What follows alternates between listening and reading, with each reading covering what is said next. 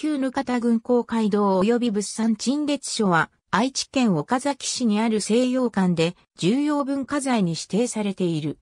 1969年から2014年までは、岡崎市郷土館として使用されていた。岡崎市赤霊ホールに隣接している。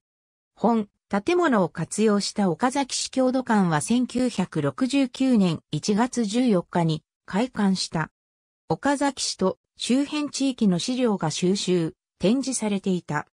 郷土館は1913年にぬかた郡公会堂並びにぬかた郡物産陳列所として建てられたものをそれぞれ本館及び収蔵庫として使用していた。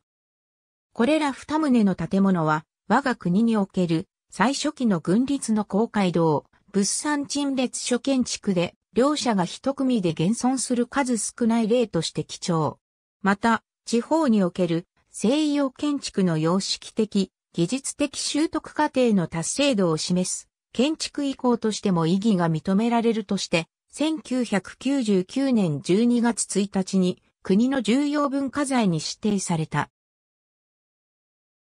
設計者は鳥取県公主で人風閣を設計した吉田栄像である。旧公街道は1913年竣工時には、ぬかた郡公街道で、1916年岡崎市が誕生すると、岡崎市公会堂になった。2010年4月1日には老朽化していた建物の耐震補強工事を行うためとして閉館した。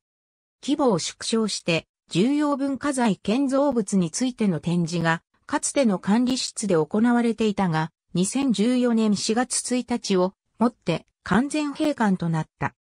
岡崎市教育委員会は保存活用に手を尽くしているが、巨額の費用が必要であることから、現在は保存活用計画の策定も含め、保存修理事業の精査を実施中である。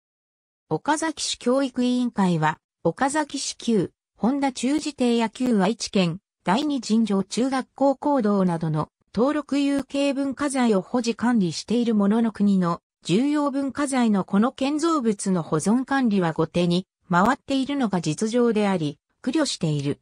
木造平屋建て、三河原武器である。建築面積は532.6平方メートル。設計は、元愛知県永前科二種、吉田映像。街道棟、通用玄関棟、便所棟からなる。行動北側面に廊下を沿わせ、廊下の北側中央に玄関を設け、両側面には、貴賓室及び控室がある。行動は公園等にも使えるように設計されており、格納式の演壇を収納している。また、本件の見どころとしては、本館正面の串型と左右の三角ペディメントに施されたレリーフがあり、行動正面のものとともに、盛んの仕事の見事さを伺い知ることができる。行動内部の壁は漆喰塗りである。天井周りは漆喰の蛇腹が巡り、天井は洋風角天井である。木造平屋建て、三河原武器である。建築面積は175.8平方メートル、内部は広間一室のみ。収蔵庫として使用される前は、岡崎市朝日体育場として使われていた。四つ用のクローバー型の花窓が印象的である。